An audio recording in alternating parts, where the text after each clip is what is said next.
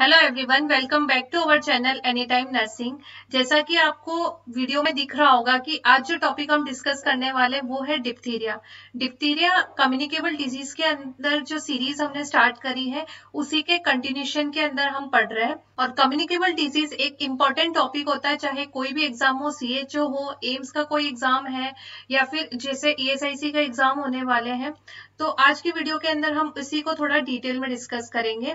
और अगर आप मेरे चैनल पर पहली बार आए तो प्लीज़ मेरे चैनल को सब्सक्राइब करें। आप मुझे इंस्टाग्राम पर भी फॉलो कर सकते हैं। वहाँ पर मैं आपकी कोई क्वेरीज हैं तो उसको ज़रूर रिजोल्व करने की कोशिश करूँगी। तो चलिए अब हम वीडियो को स्टार्ट करते हैं।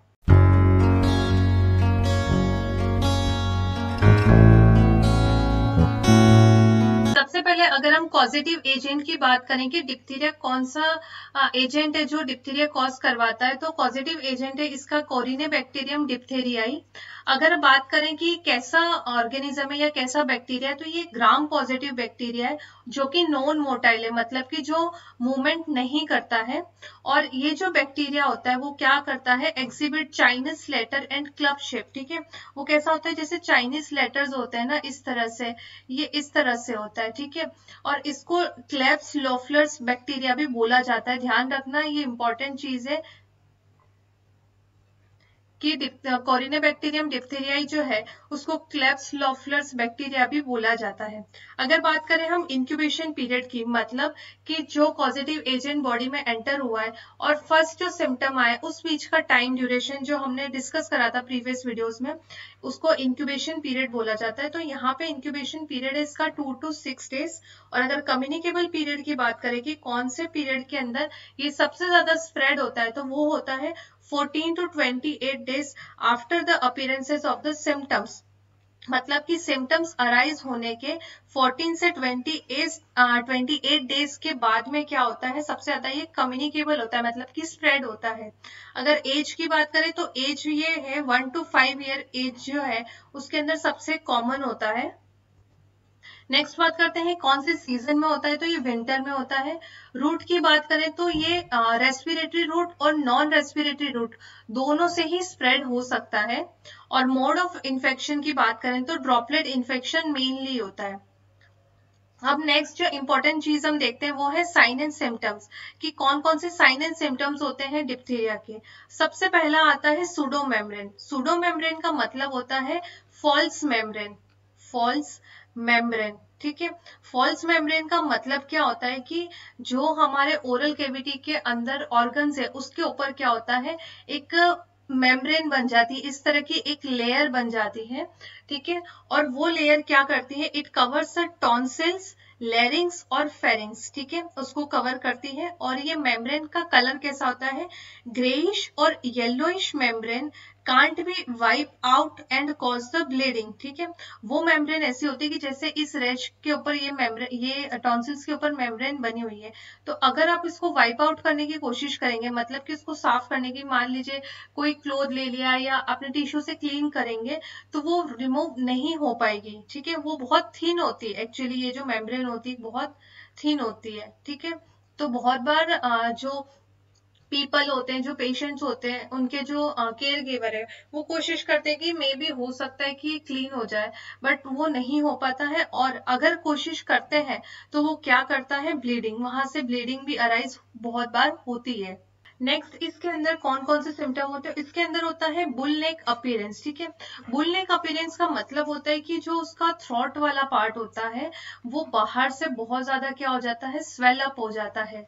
ठीक है? या फिर हम बोल सकते हैं कि नेक पार्ट का क्या हो जाता है? एनलार्जमेंट हो जाता है।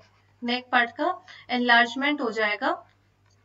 अब क्या है कि जैसे कि यहाँ पे हम देख रहे हैं कि टॉन्सल्स इन्वॉल्व हो रहा है तो टॉन्सल्स इन्वॉल्व होने की वजह से वॉइस का क्या हो जाता है? हार्शनेस हो जाती है कि भारी भारी आवाज़ आने लगती है। मतलब जब चिल्ड्रन या बच्चा जब बोलेगा तो बहुत भारी है वॉइस होगी उसकी। डिफिकल्टी इन स्वेलिंग ठीक है? ऑब्वियसली क्यों? क्योंकि वहाँ पे स्वेलिंग हो रखी है तो जब वो स्वेलो करेगा, बच्चा कुछ भी निगलने की कोशिश करेगा तो बहुत डिफिकल्टी होगी पेन होगा और वहाँ पे स्वेलिंग होगी, ठीक है? नेक्स्ट बात करते हैं कि डायग्नोसिस कैसे किया जाता है। डिप्थीरिया के डायग्नोसिस के लिए एक टेस्ट यूज़ किया जाता है, जिसको बोलते हैं शिक टेस्ट ठीक है? शिक टेस्ट की ये भी स्पेलिंग राइट है, शिक टेस्ट की ये स्पेलिंग भी राइट है।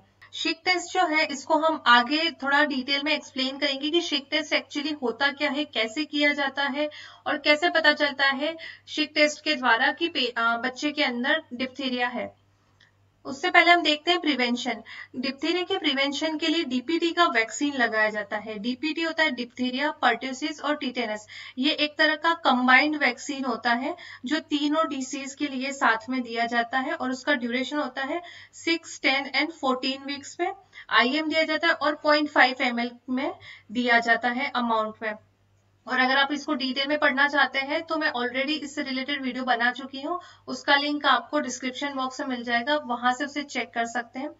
और डीपीटी जो होती है, वो एक पेंटावेलेंट जो वैक्सीन होता है, उसके अंदर भी इंक्लूड करा गया है। और पेंटावेलेंट भी आईएम से दिया जाता है और पॉइंट फाइव एम डोज होती है। डीपीटी वैक्सीन जो होता है, वो तीन जो इसकी ड्यूरेशन है या तीन जो डोज है, उसके बाद में इसका बूस्टर डोज दिया जाता है। और बूस्टर दिया जाता है 16 टू 24 वीक्स में। उसका भी जो रूट है और जो डोज है, वो क्या होता है? सेम होता है। ठीक है? और क्या होता है कि फाइव ईयर्स के बाद में क्या होता है कि अगर किसी को वैक्सीन नहीं लगा है, मान लीजिए डीपीटी का तो उस टाइम पे डीपीटी का वैक्सीन नहीं लगेगा। मतलब उसके अंदर डीटी वैक्सीन दिया जाता है ओनली डिप्थीरिया और टीटेनस का दिया जाता है, ठीक है? और ये कब दिया जाता है? Five to six year children के अंदर। उसका भी डोज कितना है? पॉइंट फाइव एम और रूट है आईएम अब हम बात करते हैं शिक टेस्ट की, कि हमने जो देखा कि जो डिप्थीरिया है, उसके डायग्नोसिस के लिए क्या करा जाता है? शीक टेस्ट तो शीक टेस्ट कैसे किया जाता है? सबसे पहले क्या करा जाता है कि लेफ़्ट आर्म के अंदर डिप्थेरिया टॉक्सोइड दिया जाता है, ठीक है? और अदर है मतलब कि राइट हैंड के अंदर डिप्थेरिया एंटीटॉक्सिन दिया जाता है, ठीक है? उन दोनों को देने के बाद में आफ्टर 72 आवर्स में इंड्यूरेशन को चेक करा जाता है। इंड्यूरेशन एक तरह से हम बोल सकते हैं स्वेलिंग जैसे कि जब भी हम जो ए करते हैं मतलब आफ्टर सेंसिटिविटी टेस्ट है ना? या फिर हम बोल सकते हैं कि जो टेस्ट डोज दी जाती है ना एंटीबायोटिक्स वगैरह के लिए, उसी तरह से।